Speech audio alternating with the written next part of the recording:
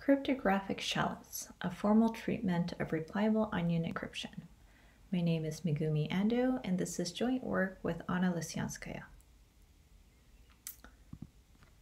Suppose that Alice wants to send a message to David anonymously.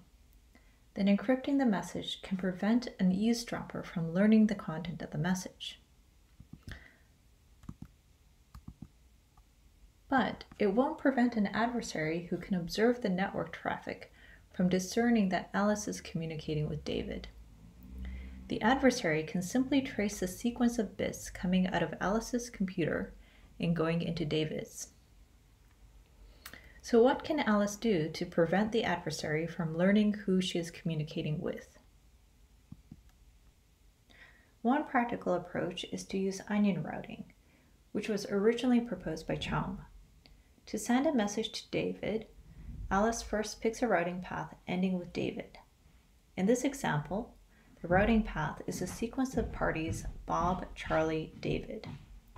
Then she forms a layered encryption object called an onion and sends it to the first party on the routing path, Bob. Bob decrypts just the outermost layer of the onion or peels the outermost layer of the onion. This reveals an inner onion, also known as the processed onion in blue, and the destination of the processed onion, Charlie. Charlie repeats this process. He peels the outermost layer of the onion, revealing the processed onion in pink, and the next destination for the onion, David. When David peels the processed onion, he obtains a message from Alice.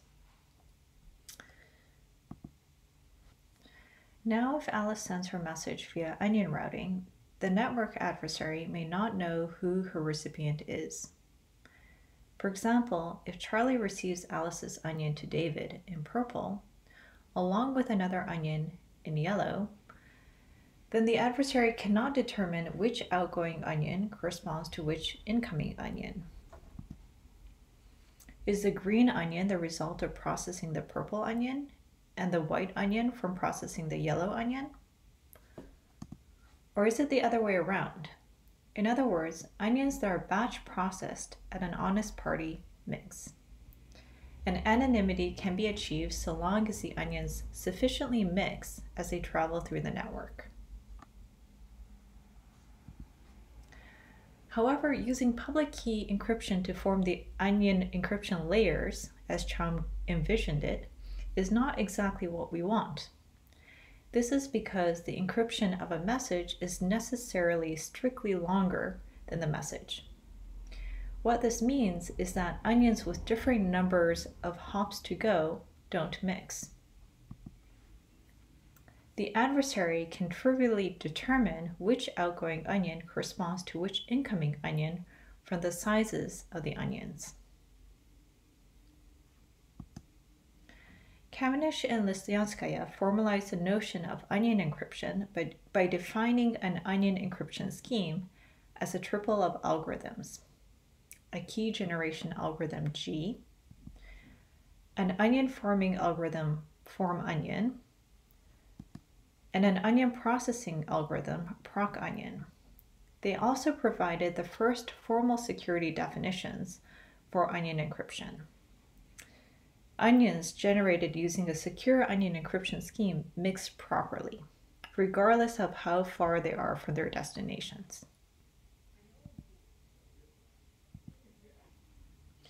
However, the paper by Camenisch and Lysyanskaya and subsequent follow-up work did not tackle two-way channels.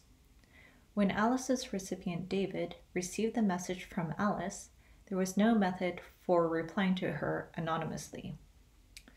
Two-way communication is necessary for most internet uh, applications. For example, for web browsing or for filling out a form online. So to conduct these applications anonymously, it is clear that we need anonymous two-way channels. The challenge with constructing a CCA secure repliable onion encryption scheme is that it is unclear how to do so when the return onions cannot be constructed by any one party. The return path must be supplied by the sender, Alice, whereas the reply message must be supplied by the recipient, David. In this paper, we formalize the notion of repliable onion encryption. In this work, an onion is a pair consisting of the header and the content. A repliable onion encryption scheme consists of four algorithms. The key generation algorithm G, the onion forming algorithm form onion that takes as input the label, the message, the forward path from the sender to the recipient, the return path from the recipient to the sender, and the public keys of the parties on the routing path consisting of the forward and the return paths. And outputs a list of onions corresponding to the forward path and a list of headers corresponding to the return path. The onion processing algorithm proc onion takes as input the onion to be processed, the processing party and a secret key, and outputs a role and an output. If the role is intermediary, the output is a processed onion and next destination. If the role is recipient, the output is the message. If the role is sender, then the output is a label and a reply message. So the purpose of having labels is that the sender can use them to determine which message the reply message is a response for.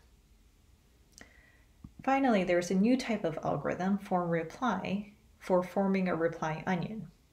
It takes as input the reply message, the onion it is replying to, the recipient, and a secret key, and outputs a return onion and first destination for the return onion.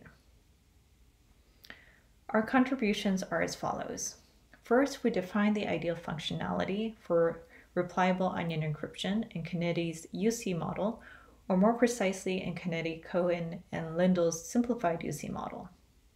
We call this FROSE for Repliable Onion Encryption Scheme. Next, we present a game-based definition, repliable onion security, and prove that it is both sufficient and almost necessary for realizing FROSE. And finally, we present the first provably secure repliable onion encryption scheme, Shallot Encryption Scheme.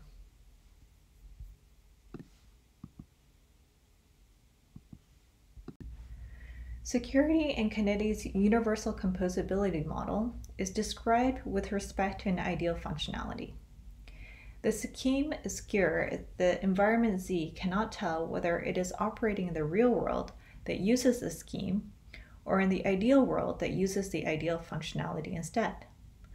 For onion encryption, the environment can instruct the honest parties to form an onion, to process an onion, or to form a reply. In the real world, the honest parties run the appropriate algorithm from the onion encryption scheme. In the ideal world, the honest parties relay the instruction to the ideal functionality F FROSE. It is the job of the ideal functionality to form onions, process onions, and form replies. We chose to work specifically in the simplified UC model. First, because this choice simplifies the way we model communication. In the SUC model, the environment may communicate with the honest parties by writing into their input tapes and reading their output tapes. And the honest parties can communicate with the ideal functionality via a central router. Second, realizability of FROSE in the SUC model implies realizability in the full UC model, so we don't really lose any generality by working in the simplified model. First, let us provide an intuition for our ideal functionality FROSE. In order to ensure that the onions mix at honest intermediaries, we want it to be impossible to match an incoming onion to its outgoing onion. Moreover, it should be impossible to tell whether these onions are forward onions or return onions. In the ideal world, this is guaranteed by generating the incoming onions and outgoing onions in an information theoretically independent way. To form an onion on behalf of Honest Party PI, the ideal functionality first partitions the forward path into segments, where each segment is a list that ends in the next honest party. Here, following the notational conventions of the paper, the honest parties are capitalized, whereas the adversarial ones are in lowercase. So in this example, the segments are the list consisting of P1, the list consisting of P2, P3, and P4, the list consisting of P5, and finally the list consisting of P6 and P7. Let OI denote the onion for party PI. The onions O1, O2, O5, and O6 are formed independently of each other. For example, O1 is formed without M or the rest of the routing path in its input. The first onion O1 is returned to the sender PI. Let O4 be what P4 gets if O2 is processed correctly. If the ideal functionality is asked by P4 to process O4, it returns O5. Likewise, let O7 be what the recipient P7 gets if O6 is processed correctly. Then O7 gets processed to M. This is a message that was in the sender PI's input to form onion. In order to respond to the onion O7 with a reply message M prime on behalf of the recipient P7, the ideal functionality first retrieves the return path, which it maintained internally, and then forms onions using M prime and the return path. This is done using the same approach that was used for forming the forward, forward onions. Of course, the full description of the ideal functionality is much more involved. Please refer to the paper for more details. Since it can be cumbersome to directly prove that an onion encryption scheme realizes FROWS, we also present a game-based security definition that proves to be both sufficient and almost necessary for realizing FROWS. We now describe the salient points of the security game. First, the adversary picks two honest parties, I and S. Next, the adversary gets Oracle access to process onions and reply, reply to onions on behalf of INS. Then the adversary picks the parameters for the challenge onion, which includes the forward path and the return path. The honest party S must be the sender of the challenge onion, and so the return path must end in S. And the honest party I must be somewhere else on the routing path, either as an intermediary on the forward path, the recipient, or an intermediary on the return path. The challenger samples a random bit. If the bit comes up zero, then the challenger forms the onion O as specified by the adversary. Otherwise, the challenger forms two onions. For example, if I is an intermediary on the forward path, then the first onion is formed using the forward path up to I, and the second onion is formed using the rest of the routing path. The adversary again gets Oracle access to process onions and reply to onions on behalf of INS. However, this time, the oracles are patched in the event that b is equal to 1. In this case, the challenge onion layer for i processes to O prime rather than to a message. Finally, the adversary outputs a guess b prime for b and wins if b prime is equal to b. An onion encryption scheme is repliable onion secure if every efficient adversary wins this game only with negligible advantage. In the paper, we prove that if the onion encryption scheme sigma is repliable onion secure, then it SUC realizes the ideal functionality f FROWS. This shows that the game-based definition is sufficient. We also prove that if sigma SUC realizes f FROWS, then it is non-adaptively repliable onion secure. This shows that the game-based definition is almost necessary as well.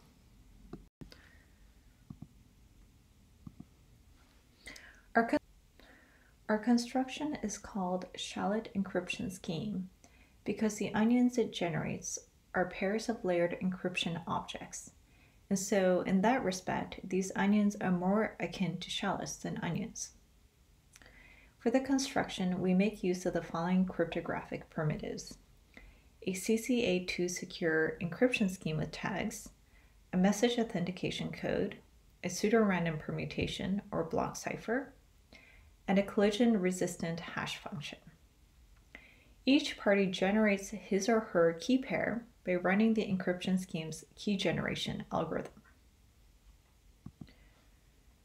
Recall that each onion is a pair consisting of the header and the content. We now describe the steps for processing an onion OI, which consists of the header EI, BI1, BI2, and the content CI, when the processing party is an intermediary. First, decrypt the first block of the header EI to get the role and the block cipher key KI. Then use KI to decrypt the other blocks of the header and the content. Finally, to make the last block of the processed header, decrypt the all zero string.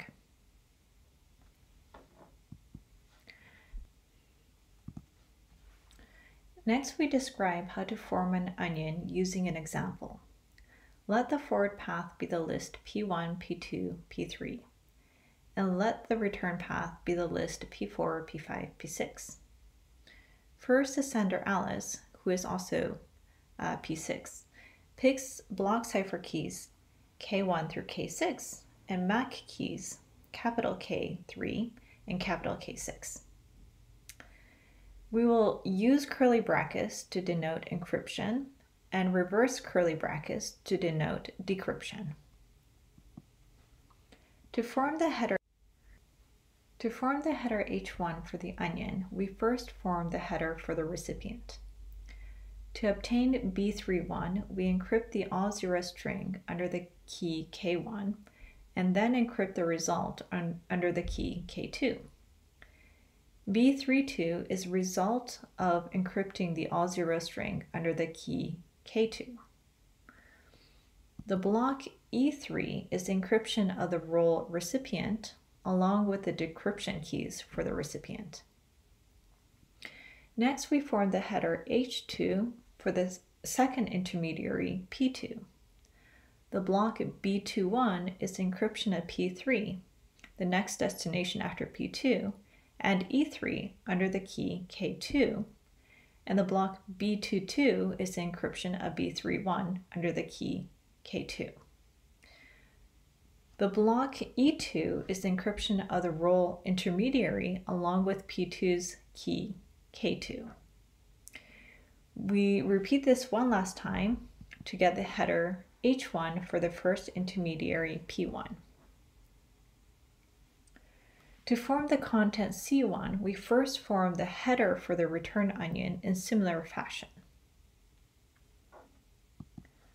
Then the meta message for the recipient capital M, consists of Alice's message to David, who is also P3, the keys for replying, the first destination on the return path, and the return header. The meta message, along with the MAC tag for the message, is encrypted first under the key K3, then the key K2, and finally the key K1. The onion for the first intermediary is O1, which is H1 and C1.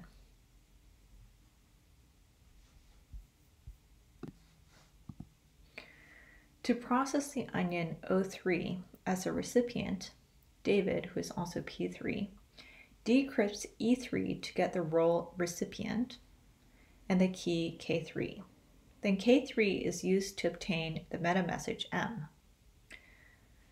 To reply to the message with a reply message M prime, David computes the content for the return onion by encrypting M uh, by encrypting M prime in the MAC tag for it. Finally, we show that Shallot encryption scheme is repliable onion secure. That is, we show that experiment 0, when b is equal to 0 in the security game, is indistinguishable from experiment 1 when b is equal to 1. We do this via a sequence of hybrids. The high-level idea is the following. In hybrid one, we form the onion for honest intermediary I, and then wrap that onion with layers of shallot encryption to get the onion for the first intermediary P1. This produces an onion that is identically distributed to that in experiment 0. Hybrid 2 is the same as hybrid 1 except that i's key, kj, is swapped out for the all zero key. Hybrids 1 and 2 are indistinguishable because of the CCA2 security of the encryption scheme. Hybrid 3 is the same as hybrid 2, except that the blocks in the onion OJ are swapped out for truly random blocks. Hybrids 2 and 3 are indistinguishable because of the pseudo-randomness of the pseudo-random permutation. Hybrid 4 is the same as hybrid 3, except that a second key, kj prime, is sampled independently of kj, and the truly random blocks in oj are swapped out for pseudo-random ones generated under kj prime. Hybrids 3 and 4 are indistinguishable because of the pseudo-randomness of PRPs. Hybrid 5 is the same as hybrid 4, except that the all zero key is replaced with kj prime. Hybrids 4 and 5 are indistinguishable because of the CCA2 security of the encryption scheme. Finally, hybrid 5 and experiment 1 are indistinguishable because their outputs are identically distributed. The full proof with all the details can be found in the paper.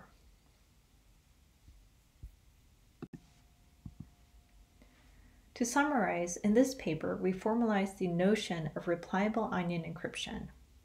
We define security for repliable onion encryption in the simplified UC model by providing a description of the ideal functionality F rows and presented a game-based definition that is sufficient and almost necessary for realizing F rows.